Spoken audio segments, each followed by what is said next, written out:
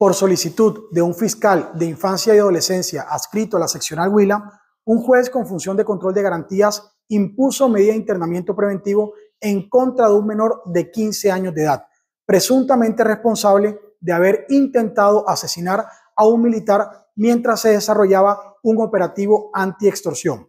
Labores de policía judicial evidenciaron que a la víctima de 27 años le fueron hurtados sus documentos cuando se movilizaba por el barrio Santa Isabel de la capital huilense el pasado 9 de abril.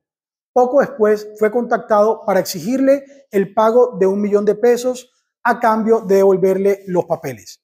Este hecho fue denunciado por la víctima, lo cual permitió adelantar un operativo en el que miembros del Gaula CTI y Gaula Militar aprendieron al menor en momentos en que recibía el dinero, posiblemente relacionado con la exigencia económica ilegal. En desarrollo de esta acción, el presunto infractor, al parecer, disparó contra uno de los uniformados, quien resultó gravemente herido. El menor aceptó su responsabilidad en cuanto a los delitos de tentativa de homicidio, extorsión y fabricación, tráfico, porte o tenencias de armas de fuego, partes o municiones, los cuales fueron imputados por el fiscal del caso. La Fiscalía General de la Nación habla con resultados.